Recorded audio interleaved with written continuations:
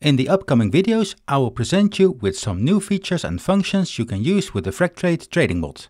Now, for those who are not familiar with this program, Freqtrade is an open source trading bot built with Python that can assist you with automatic trading cryptocurrencies on a multitude of exchanges.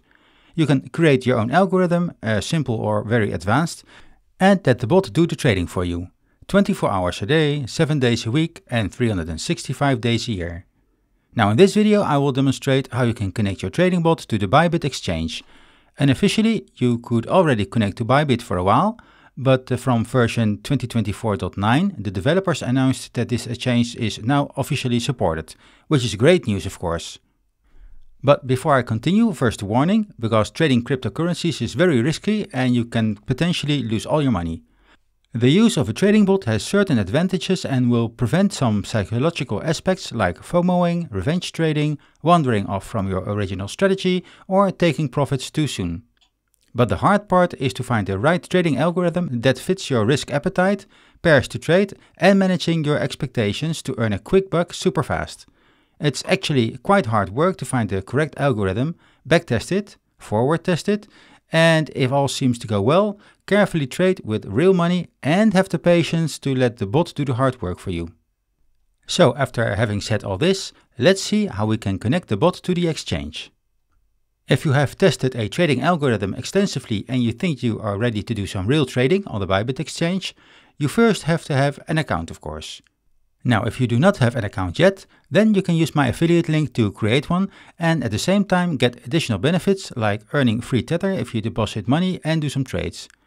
There are also lots of other benefits as well, like free airdrops of crypto, so I don't see any reason to not use this link and earn some additional income for free. After you have signed up with the link and verified yourself with the KYC procedure, you are all set up for the next step in this process. It's important to execute the level 1 KYC process, otherwise you will not be able to deposit money or do some trading on the exchange. First, you'll have to choose if you want to use your main account for your trading bot, or prefer to use a sub account so that you can split manual investing and bot trading over different accounts. You can even use multiple sub accounts and different trading bots with separate strategies for this, like trend trading strategies, mean reversion strategies, and others if you like.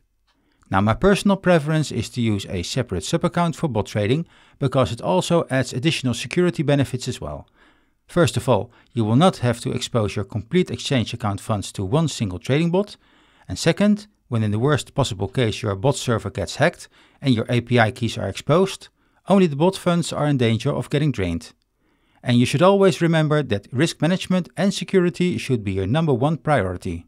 After you have created your account through the affiliate link, you will end up in the overview page that might look something like this. This is also dependent on the location where you live in, because in my case it's the Netherlands and you will see the screen uh, looking here. Now continue to click on your account button at the top right of the screen and in the menu that appears you will see an option called Create Sub-Account. Now we get a choice between a standard sub-account and a custodial trading sub-account. You should choose the standard sub-account here. The next thing to do is to choose a name for the sub-account and the account types.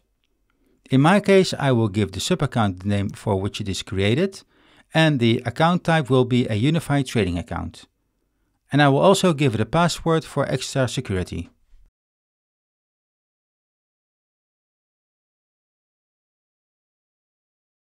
Now, after pressing the confirm button, we get the following overview screen. On the right side here, there are a couple of options that we can choose from. And we can now switch to the account, transfer funds to it or open the settings. The settings option will give you the possibilities to freeze the account, delete it, do some login management or a force logout. With the transfer option we have the possibility to transfer crypto from our main account to this sub-account. However, you can only do this if you have finished the level 1 verification and also have some funds on your main account. The additional benefit of uh, using my affiliate link is here that you can attain the free money and then you can use this to trade with the trading bot. Now I do have some money on my account, so I will put USDT on the bot account next. Let's now switch to the sub account and configure its settings so that we can make use of it uh, with the trading bot. The first thing we'll have to do here is to add a multi-factor authentication, because without setting the MFA we cannot create the API key later on. Let's go to Account and Security and configure the Google two-factor authentication first. Click on Settings here and then follow the rest of the procedure.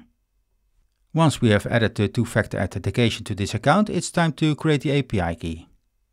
On the sub-account main screen, click on API Management for creating the new API key and secret. Now click on the Create New Key button on the top left side of this window. This time we get another choice. Do we want to use the system-generated API keys or do we want to generate the API keys ourselves? For this example, I will choose the system-generated versions and if you rather create your own keys here, click on the second option. Now there are several choices to be made in the Create New Key screen. Choose the following options for a working TradingBot API key. Select API transaction instead of connect to third-party applications because the third-party application options actually create connections to specific uh, trading server providers like 3 Commas, Ardos, Aljo, Gene, Beanbot and many more. And the next thing to do is to name the API key. Here you should name the API key to something that's relatable to the trading bot you will use. Then we'll choose the read-write key permissions because uh, these permissions will give you the opportunity to query order info, submit and cancel orders with the bot. We'll also configure the only IPs with permissions granted are uh, allowed to access the Open API. And here you should enter the IP address of your server. And this way only your server has access to this API key of Bybit. And finally, we should check the box in front of trade under your standard account. You do not need to check any of the other boxes in the assets section. Now, it could be that this field is different for other people who are outside the Netherlands because I'm restricted by Dutch regulations and have limited trading options here. But if you followed my procedure and have configured the API key settings, you should click on the Submit button and then a two-factor authentication will pop up. And after the correct code has been answered, all the API information appears that you have to use for your bot. Again, save this information in a secure place because you will see all this information only once. Otherwise you will have to redefine a completely new key next time. So, assuming that you have carefully saved the API key and secret somewhere secure, it's time to add it to the configuration file of the Freqtrade trading bot. Now open your created config.json file and enter the API key and secret on the respective place in the configuration file under the Exchange section. The final step here is to configure the trading bot to do real live trading with actual funds that are added to the trading bot subaccount. This setting is located at the top of the config.json file and here we have to change the line dry run true to dry run false. In other words, we do not want to use the forward testing capability anymore, but instead want to do actual live trading with the bot and playtime is over. Now it is time to start or restart the trading bot server. In this demonstration I'm using the following command to start real trading. In your case the command can look different because of a different config name or location and strategy name, and it can also be that you use a Docker container for your bot. In that case refer to the commands to restart the bot with Docker. In all these cases I assume that you already know how to start or restart your bot. If you watch the logs on your screen and it looks like this, then everything should be working fine. Especially watch for the line that says that the run mode is set to live, because this indicates that the bot is in live trading mode. Now if there are any errors appearing, it is time for troubleshooting. Check the API key and secret for correctness and the correct rights on the Bybit platform. Any other errors should be solved by consulting the internet, the Freqtrade site or the GitHub issues list. In any case, at this point you are seriously trading with real money and hopefully you use a well-tested algorithm uh, that you have confidence in and is profitable over time.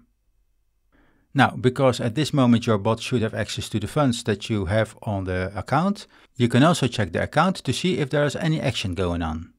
Maybe it could be that the bot already has found a trading opportunity and that you already have some other crypto on your account balance. Also, if you configured your bot to use a web interface, then you can open this to see the bot status too.